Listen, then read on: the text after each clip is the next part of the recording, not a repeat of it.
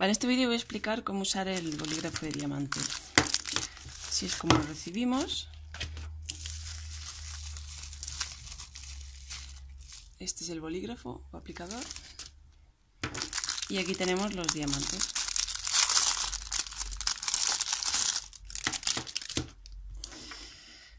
Vale, lo primero que necesitamos es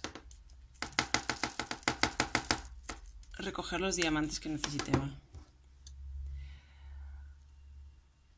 La punta y esto es el aplicador. Cuando, hacemos, cuando pulsamos aquí vamos dejando los diamantes. Lo primero que tenemos que hacer es cargar el bolígrafo.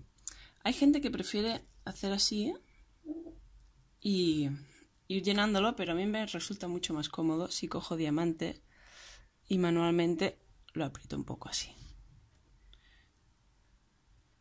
Me resulta más cómodo porque creo que se hace mucho más rápido y bueno, al final es lo que nos interesa, ¿no? Poder cargarlo rápido para luego poder pintar o aplicar.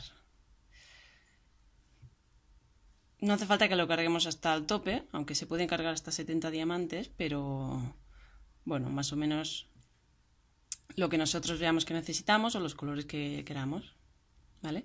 A medida que yo voy empujando los diamantes y voy cargando el bolígrafo, esta parte de aquí se va haciendo más larga porque va empujando, va empujando por aquí.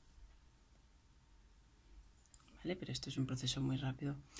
Ahora tendría unos cuantos diamantes cargados y digo, vale, pues voy a hacer la prueba. ¿Veis? Tengo esto de aquí. Aquí tengo esta cajita, que es la que quiero decorar. Y lo que voy a hacer primero es poner un poco de pegamento.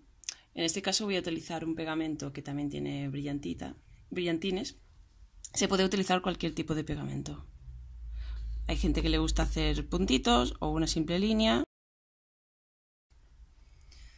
Vale, ya he puesto el pegamento y la ventaja que tiene es que como haré muy rápido lo de los diamantes, pues no se secará.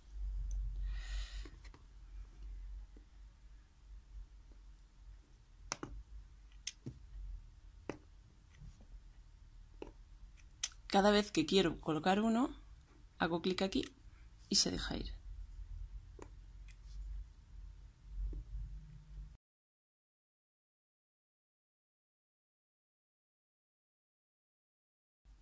Y si os fijáis, esto de aquí se va haciendo más pequeñito y va empujando los diamantes.